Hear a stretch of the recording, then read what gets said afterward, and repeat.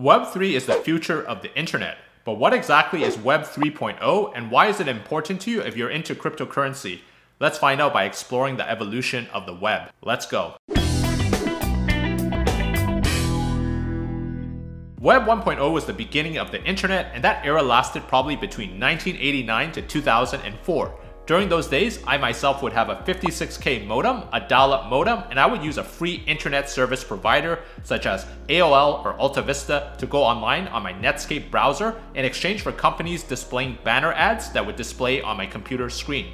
And back then you had a trade-off between making a phone call or going on the internet. Now the earliest web looking back really didn't seem like that much fun, but of course when Web 1.0 came out and I was just a teenager, it was a lot of fun going on these chat rooms and talking to random strangers online. Wait a second, isn't that what I'm doing now? But Web 1.0 was basically an internet depository of information, similar to a user generated encyclopedia that was online. A lot of content was user generated because people made websites and those websites produced information online.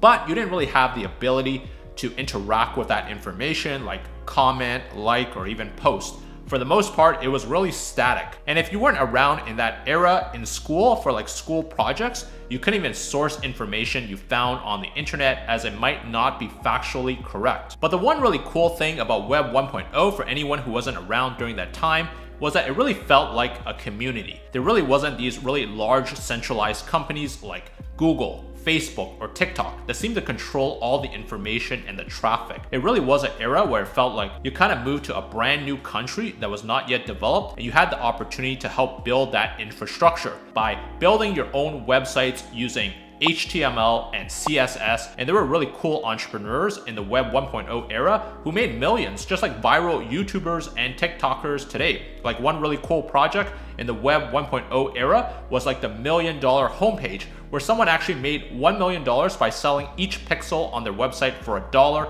And you can take a look at that web page today to see the companies that were advertising back then versus which companies are still around today. But unfortunately, the limitation with Web 1.0 was that it really wasn't accessible to everyone, and not everyone had the technical skills to build these websites. Like, you really had to be a programmer to make websites, and there was also little connection between the user of the content and the producer. It was just like, here's the information, go consume it.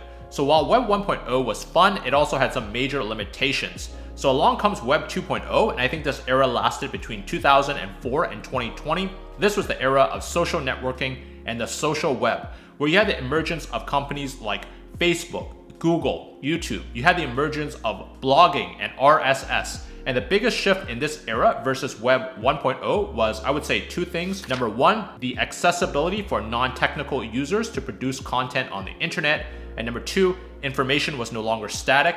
You could upvote, downvote, comment, and interact with the producer of the content. And we really take this for granted today. But in the beginning of Web 2.0, I remember as a college student when I first got introduced to Facebook, how amazing it was that non technical users such as myself could go on Facebook and look at pictures of all these beautiful. Oh, sorry, sorry. Now, in this era, technologies were really created to really simplify the user experience. So think Shopify. Anyone can create an e commerce store without technical skills. Facebook. Anyone can post social content online and share it with their family and friends. YouTube. Anyone can produce video content online and share it. Amazon anyone can purchase goods online and share reviews. So, in addition, with social networking, the two major shifts that happened in this era was number one, storing information on the cloud instead of on local hard drives, and this really led to the rise of services like Amazon Web Services and Microsoft Azure, and obviously the emergence of mobile phones and Apple.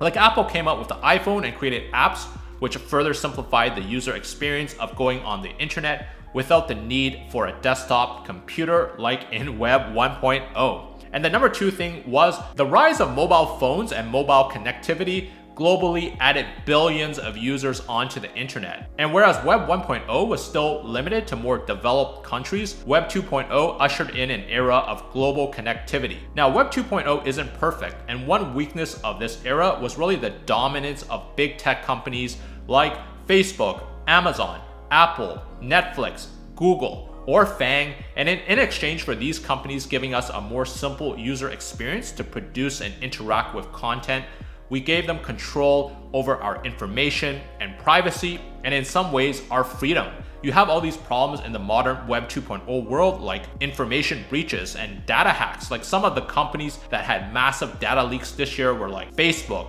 LinkedIn, Instagram, T Mobile, Coinbase, CVS where almost over a billion user records were compromised. All right, just a really quick side note, and that's I take personal information security really seriously, and I personally use the company Aura for digital security to monitor my data and to protect my personal information. Thank you, Aura, for partnering with me in this video. And if you're brand new to Aura, they are partnered with the NBA as well, and you can really see their logo on the jersey of the Minnesota Timberwolves.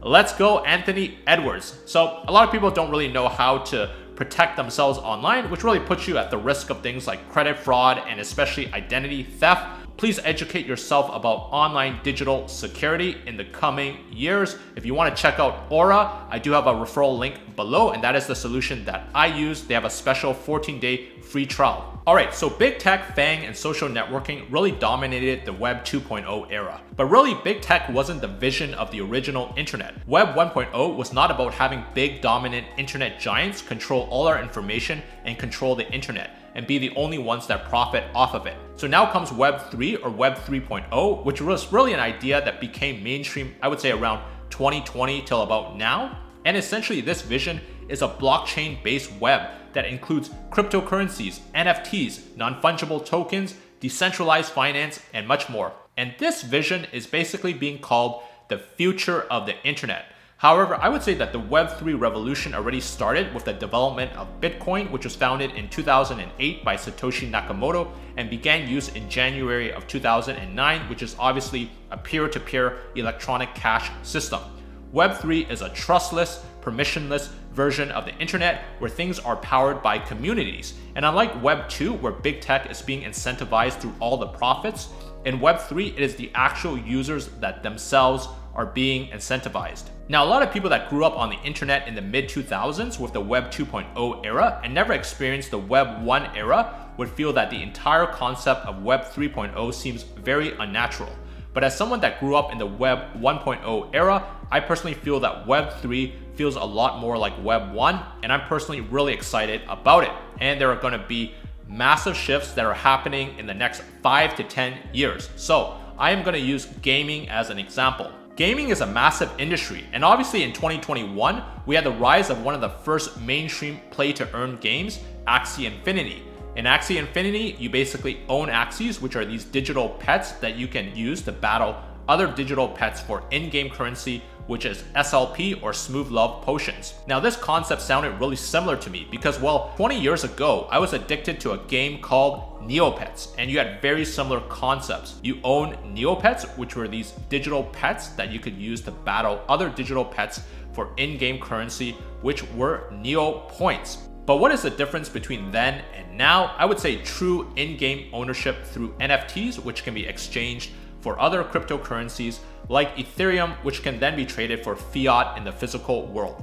For example, Axies are NFTs, and you have true ownership through a digital wallet. And if you want to ever leave the game and sell your Axie or Smooth Love potions in the future to someone else, you have the ability to do so.